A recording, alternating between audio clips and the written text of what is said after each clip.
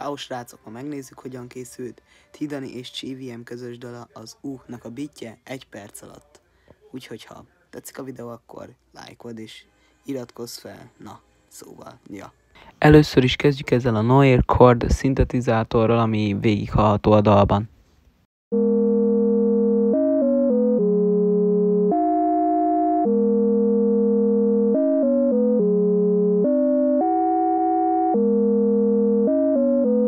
A Noir Chordra jöhet egy ilyen eyelash szint, ami szintén végighallható a dalban és a refrénekben is, és ezek teszik össze, ezek ketten teszik össze a fő ritmust, ez meg a Noir Chord.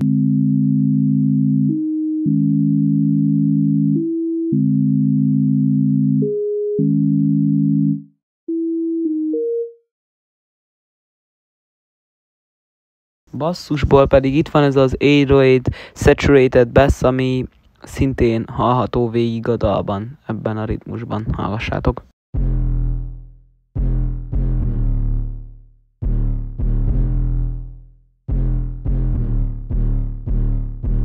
Dobok terén pedig összeraktam egy dob patternt, vagyis drum kitet a ilyen bandlab, bandlab sounds, bandlab hangokból. Úgyhogy ja, hallgassátok!